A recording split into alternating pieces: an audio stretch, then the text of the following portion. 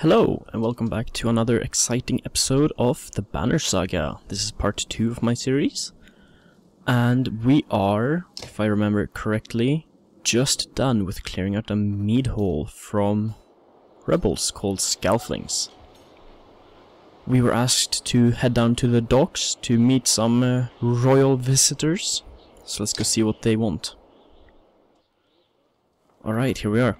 We're meeting somebody called Vognir, it seems familiar Varl, so we know him. We knew him when he was young, so we call a younger version tramping around the halls of Grofheim. Abundant in purpose. Not sure if you can be abundant in purpose, but this guy is. Ubin, you're looking ancient. No, we're not. That's rude. It comes with being old. It's a very undesirable side effect. And if there's Vognir, there must be Hakon. Maybe they're brothers. And there's Hakon asking if there must. Still bleeding tributes from the poor and stupid, old Yox. At what age do you lose a sense of shame? What's a Yox? If somebody knows, do comment. Jorundur demands it. I'll take... No. I'll take that over lingering to death in Grofheim. Speaking of, I had no sense that you were so far from home. Just returned from Arberrang, in fact. And glad for it. Hakon motions to other ships in the bay. Sails still fluttering. Golden wolf head emblazoned in red. The king of men, or someone on his behalf. Maybe Arberrang, whatever that was, is the capital of men. The king's whelp. So the prince. The king's son Ludin. Don't you know, Scrivener? We visit his cap capital he visits ours. It's how you make alliances these days. It's a miserable waste of time. Is it though? It brings peace. Although, it seems like he wouldn't want peace. Yes, Hakon has it. I'd almost forgotten. It's a good thing you're around, Hakon. He is full of sarcasm. I like it. Then you're going to Grofheim? I have a distinct feeling I have finished my business in Strand. I was heading there myself. We should caravan. We should. Give it a day. In better circumstances, I'd drink a week away. But, ah. Let's just be done. Find me tomorrow at the gates. What he's trying to say is, the prince is a delight to behold. Yeah, they don't seem to like the prince at all. Where's Mogger? Mogger. Mogrin. Mognir. I'm gonna call him Mognir. Sounds better. Mognir. Hakon, have him find a place to put up the warriors. I'm heading up to meet the governor. A host of giants depart in his wake. You recognize a few, others are strangers. Guess I'm off to find Mognir. See you in the morning, Scrivener. I'll be along. Okay. So the Prince of Men is coming off, brushing off his tunic, scanning the beach with low eyelids. Ludin looks for all the world the sort of boy who grew up pulling the legs of Spider. The long road back to Grofheim should be more interesting than most years, you think? How delightful. I don't think I ever ripped off the legs of spiders. Sounds like a horrible thing to do. Weariness suddenly settles in, and you chuckle to yourself about what an odd day it has been. One of the governor's men at the Great Hall could find you a place to sleep. Who's gonna sleep in the Great Hall. On the other hand, if you're going to join Vognir's caravan, caravan tomorrow, it might not hurt to share a drink with Hakon or introduce yourself to the prince they spoke so highly of. Right. Okay, does this mean I have a choice? Okay, I could... It could either be that I can't talk to both and then go to bed, or I go to bed, miss out talking, I talk to him, miss out on sleep, and Ludin, go to Ludin, miss out on Hakon and sleep. Which would be sad, so I'm gonna go talk to Hakon, because... Yeah. Hello. You find Hakon in a mead house, surrounded by other Varl. Strand is no stranger to Varl, but rarely sees this many. Hakon wa waves you over. Went straight for a flagon? Flagon? Flagon? Something? Vognir's the one who agreed to pass up a drink. I wasn't invited to the governor's hall anyway. You already missed the massacre. Actually, why is he holding his axe in a meat hole? Shouldn't he put that down? Every year I make the rounds collecting taxes. Every year it's the human settlements that give me trouble. No surprise. What happened this time? Oh, just you wait. When I got here, the Great Hall was already full of bodies. We added a few more. Yeah, a few. Humans. I guess if I only lived as long as a Yoxfart, I might be desperate to make something of myself too. What is a Yox? I need to Google a Yox. It's not too late to start trying, Hakon. Hakon let slip a low chuckle. Any Varl could recount his deeds, known as he is for cutting a swathe through the dredge, through dredge at Vognir's side in the Second War, and regularly since then. So he's a hero of something. A war hero. Down here I'm a glorified bodyguard. You might have a point. Just another reason to get back to Grofheim. Soon enough, I imagine. You drink until the mead house becomes overbearing, then step back into the cool air outside. Okay, so I can do all three. right, so let's uh, have a talk to Ludin then. See what he's like. Is this the right place? You find the prince at an inn. Guards blanket the building, including a sharp-eyed Varl who must be working for Ludin. A woman in red eventually waves you over and stands nearby, arms crossed. Does that say woman? Did you describe him as a woman? Or is there somebody else who just works for him? Greetings, Prince Ludin. He is wearing red. I need to look that look back at that in the recording. Did they call him a woman? Yes, you're with Vognir? I don't remember you. No, but yeah, I'm a friend of Vognir's. I'll be joining you back to Grofheim with my guards. Ludin looks up for the first time. The woman doesn't... No, okay, so there's a woman next to him, okay. Why? It's a rude question. I work for the king, carrying tithes to the capital, we crossed by chance. Tax collector, fine company. Well, the same could be said for you, prince. What do you want? Just, um, I hope to learn more about you. Recording history. A Varl historian. Don't you already know? Your king and mine both have been practically trumpeting it through the cities. Well, I've been on the road, I'm afraid, so I don't know. Ludin takes a deep sigh. Whether tired or ungracious, you aren't certain. Maybe both. Probably bro both. Formality, mostly. Vognir came to our capital in Arberrang, and now we go to the Varl's capital in Grofheim. To cement this grand alliance for the next age of men and Varl. He does not sound impressed. Yeah, you sound unconvinced. There's no need for it, and it's damned cold up here. You get the sense he's struggling not to complain outright. outright. You take the opportunity to excuse yourself. Yeah, okay, I see what Vognir and Hakon was talking about. I don't like him. Let's go. Let's go to bed. At dawn, you're awoken by a delivery of goods. At least, you think it's dawn. Damn hard to tell with, the sun, with a sun that never moves. The governor's crest adorns the supply leathers. All there, just as promised, to your mild surprise. You wonder if Eirik had anything to do with that. Probably. I wonder if it's possible to them not give the double demanded thing, depending on what you do. Her guards take the treasure wagon down to the gates. Vognir's already there.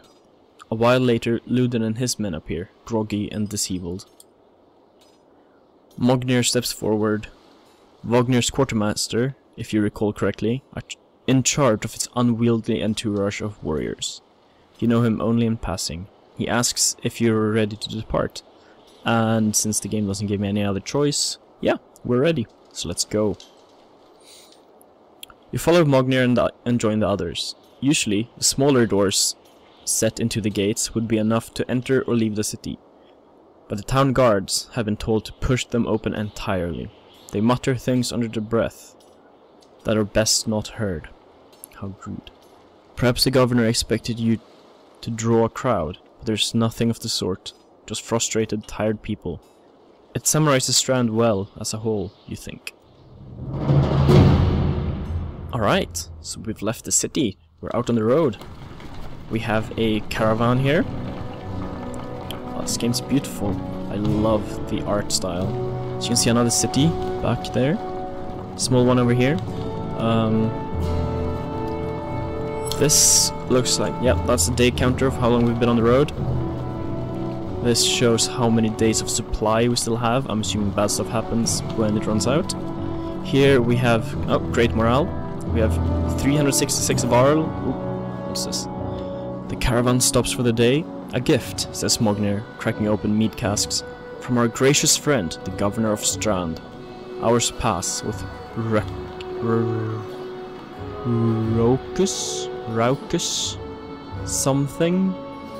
Raucous laughter as the meat is passed throughout the camp. And we are going to...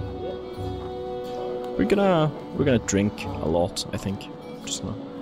It's not often you get to... You get the chance to relax on the road. The odds of something happening to the treasure cart is low, especially in this company, so you take advantage. Good. Aha. You rise groggily, the campsite a casualty of merriment. Mognir is already kicking warriors awake when you spot Ludin stalking your direction. He sidesteps sleeping bodies. You better wake up, you nudge Vognir. You're ready. You're needed. You're ready? What?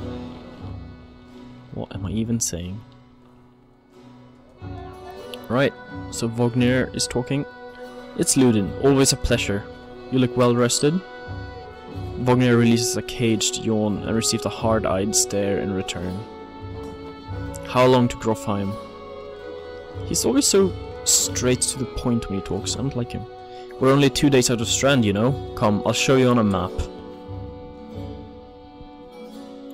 So we're gonna see a map now.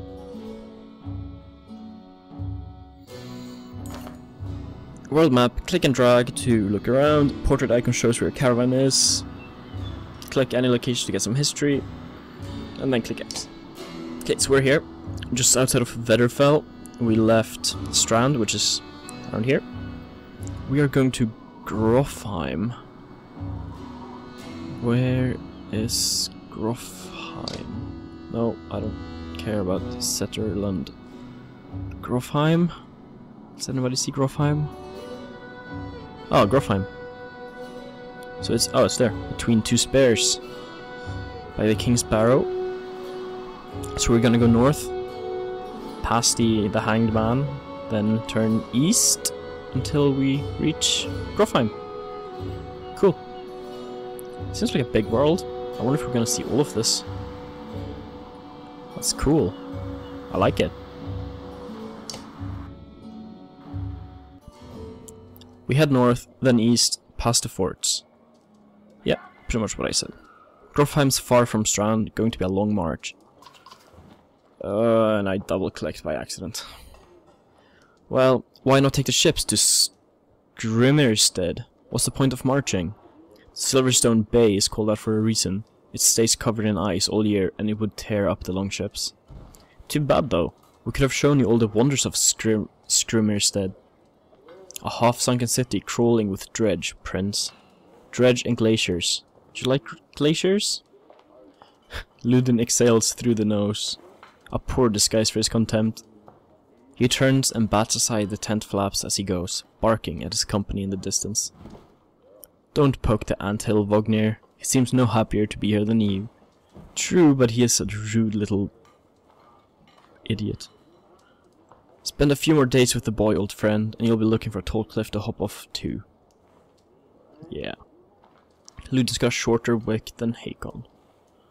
Thanks, Vognir. Let's get moving. Another half day to Vedderf Vedderfell if we're lucky.